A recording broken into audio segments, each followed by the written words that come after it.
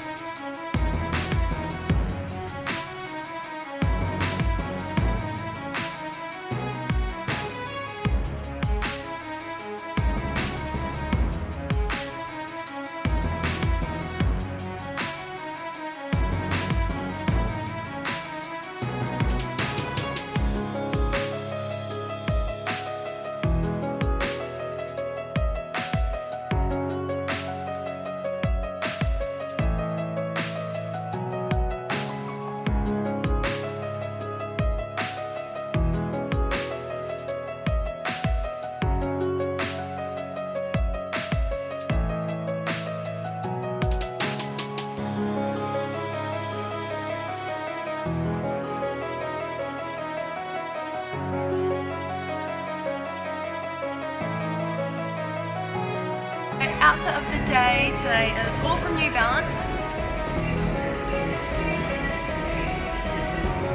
Finished back, thighs and shoulders and I'm just waiting for a bus because Michaela had to go to work early this morning. I get on the bus, scan my card and I had no money on it, no cash in my wallet and the bus didn't take EFTPOS. Driver was so nice, he let me on for free. It kind of just shows you that there's still good people in the world.